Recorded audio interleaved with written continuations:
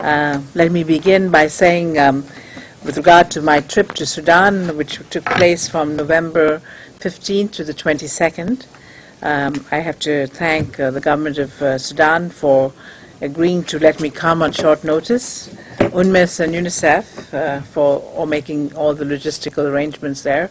And I must say, I traveled with uh, the head of child protection of UNICEF so that we could also assess the programmatic response in, in situations uh, involving children. The purpose of the visit was to assess firsthand the situation uh, in Sudan uh, since my last visit of 2007 and to determine the progress in the implementation of recommend, Resolution 1612 and now 1882, as well as the conclusions and recommendations of the Security Council Working Group. Uh, the purpose was to support the advocacy efforts of child protection actors and to engage in high-level dialogue with national authorities as well as uh, dialogue with non-state actors.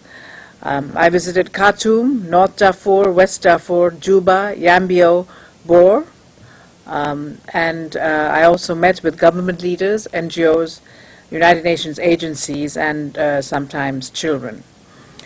As you know, the issues that concern the Security Council Working Group in Sudan are the recruitment and use of child soldiers, as you know, uh, the Secretary General's list on children in armed conflict that goes to the Security Council every year, listing parties that recruit and use children. Practically all the parties in Sudan, signatories, non-signatories, and the government of Sudan are on that list. So this was very important. That was why this issue was of high concern. Rape and sexual violence, uh, killing and maiming of children, especially in recent tribal conflicts, targeting humanitarian workers and the denial of humanitarian access, the combating of impunity, and in addition, there were some other issues of concern, the protection of children in recent intertribal conflicts in the South, the question of capital punishment for children, uh, the cross-border violence of the LRA, and the need for sustainable reintegration programs for former child soldiers. The commitments we got during this visit, which we hope all parties will, uh, will stand by, was first we managed uh, to sign an action plan with the SPLA. It calls for the release of all children. They allow for the verification of that release, giving the UN access to their military centers and training camps, and the reintegration of such children uh, in a, in a, um, in, uh, through, with the help of the government and UNICEF. We also, uh, uh, some signatories to the Darfur peace process agreed to begin dialogue for such action plans. Uh, that is the SLA Free Will, the JEM Peace Wing, and the SLA Abdul Ghazim. Uh, Mr. Minni Minawi uh, has opened his camps uh, to the UN for, to see if there are any children, so that was also a part of that process. The Sudanese government also indicated to us a willingness to enter into uh, a discussion for an action plan so that they can be listed. Those discussions are now ongoing. Besides action plans, we got commitments from religious leaders in Darfur. Um, uh, it was uh, religious leaders, many of them uh, who, who, told us that they would use the sermons from the mosques to uh, aid in the campaign against recruitment of child soldiers. About 800 mosques will be involved in that campaign. Uh, we also got a commitment from the UPDF. Uh, as we went to Yambio, we went, visited them in the camp. The, the UPDF Army uh, Chief of Staff was visiting uh, the uh, Yambio um, district. And uh, what we wanted is, as they fight the LRA and children are taken by the UPDF, a protocol for their release so that they're released hopefully within 24 hours to the Ministry of, uh, uh, of uh, Welfare as well as to UNICEF. We also got a commitment from the government of Sudan, from the Minister of Justice himself, that they will not execute any children, that they would not, even if they are sentenced, they will not be executed.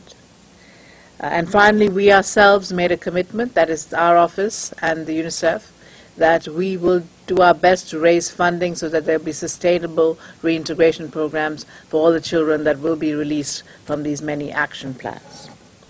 I visited Sudan two years ago, and I must say since then there have been uh, quite a bit of progress. I think the first progress is that there seems to be an acceptance of international standards across a large cross-section of people uh, both in government and outside, and a willingness to talk about many of these problems. Uh, this is particularly true when it comes to women's uh, violence against women and child's rights. There has been a formation of a child, family and child protection units in the north, uh, in North um, Sudan. I visited one of these units, and I must say they were uh, seemed very effective uh, in the areas that they operate. Uh, there is also a draft national policy on violence against women that is being drafted and which hopefully will be adopted soon. There's a Child Act uh, in the state level that have been passed, but the federal act um, is also, uh, one hopes, will be adopted soon, though there are certain deletions that we are concerned about. Uh, what is needed is the framework now exists, the issue is now implementation.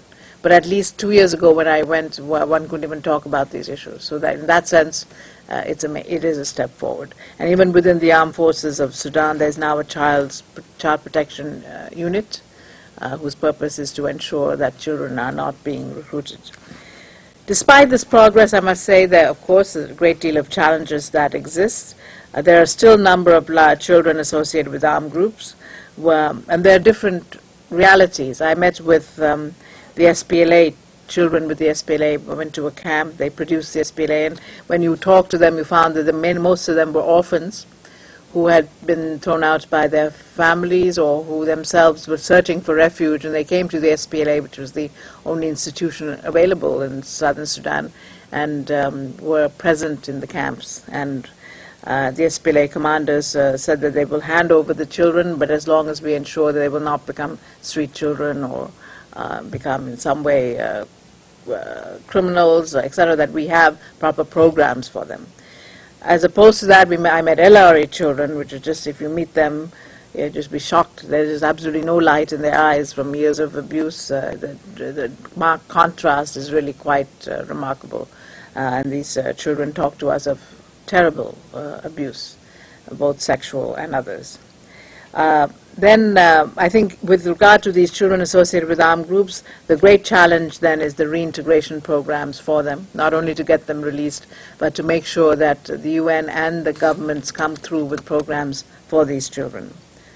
Um, the second issue is in the LRA areas of Yambio. The humanitarian actors are also requesting two things.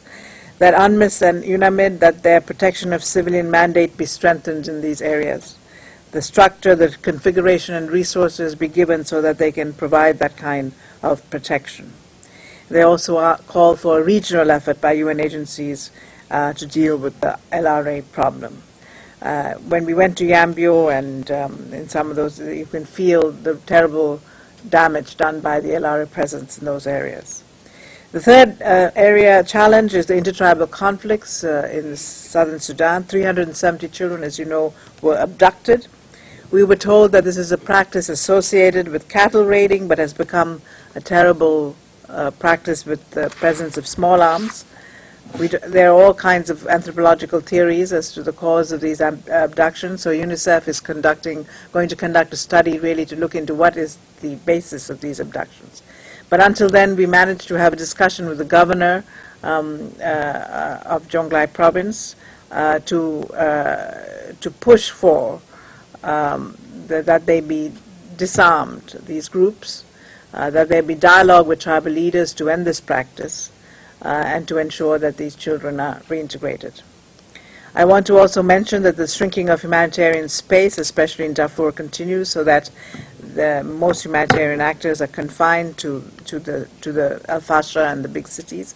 One child protection officer, one of the persons who collect information for us, is one of those who was kidnapped in Darfur and so I made an appeal for her release. Uh, but um, there seems to be, uh, they don't want to use force, and of course uh, we cannot pay ransom, so there is an issue. But, I, but we continue to appeal for her release. I think in this whole shrinking of humanitarian space, we have to be more imaginative on how we deliver basic services uh, in this kind of environment. Uh, there's also the issue of the IDP camps in Darfur. We met with leaders and youth and children. Uh, I must say that um, they complained constantly about this lack of security around the IDP camps and urged us to provide better security. and they pointed to the constant recruitment of children from the camps, both by the Chadian opposition groups as well as JEM. Um, uh, and I must say, when talking to the young people of the camps, uh, they're, they're very young, they seemed quite militant, and one wonders what, whether there are programs and strategies uh, for them uh, in the future. Finally, as you know, the death penalty for children, uh, even though it's not strictly in my mandate, at least the JEM, um, the six people from JEM who were given the, the death, six, children from JEM who were given the death penalty is uh, an area that I was advocating for. Uh, and uh, so the government medical panel has found that four of them, they say, are not, uh, were not children when the crime was committed. So there seems to be some controversy. But I was, the Minister of Justice assured me that he will not execute these children. I don't know whether they'll live up to it, but he, he uh, assured me that they will not, they may sentence, but they will not execute. So thank you.